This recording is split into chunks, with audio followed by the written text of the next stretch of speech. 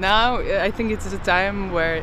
the, the Slovakia is going to decide like if we are going to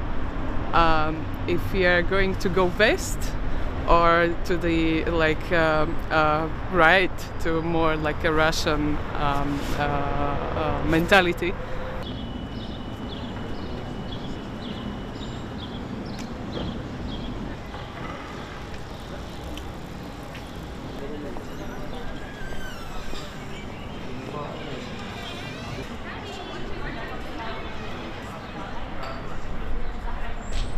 One is the Pellegrini and then the other one is Korčok and actually the Pellegrini is uh,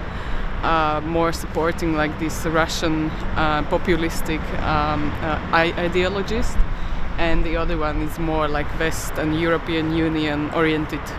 So now it's the like actually the time when it's going to decide like what the Slovakia is heading in next five years.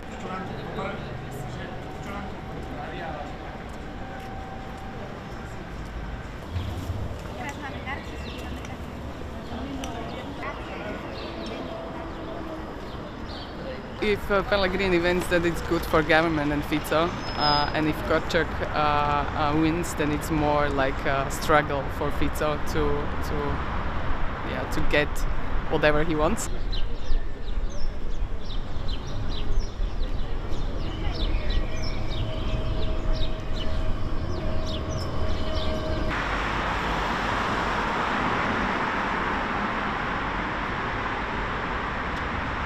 Számunkra is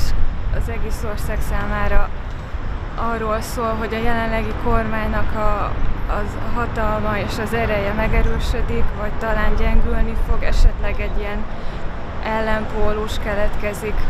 a, az új elnök személyébe, vagy amit ő fog képviselni.